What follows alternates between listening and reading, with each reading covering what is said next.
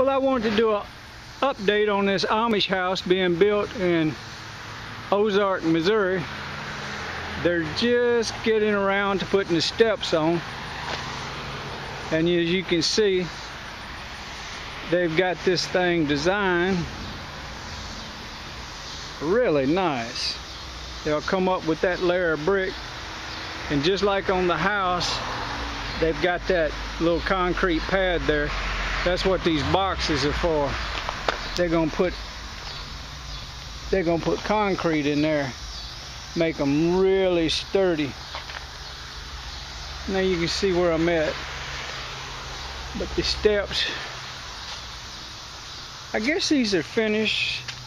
But yeah, let me walk them. One, oh yeah, yeah, that's the right rise and run right there. Yeah.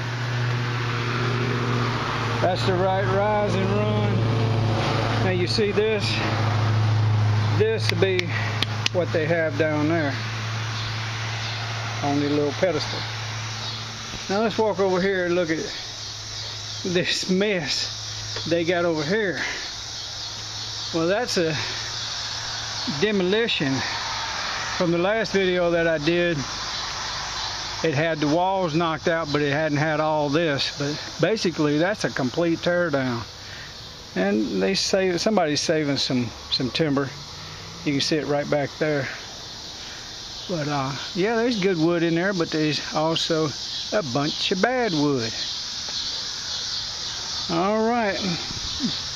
Well, this is one beautiful house the Amish are working on.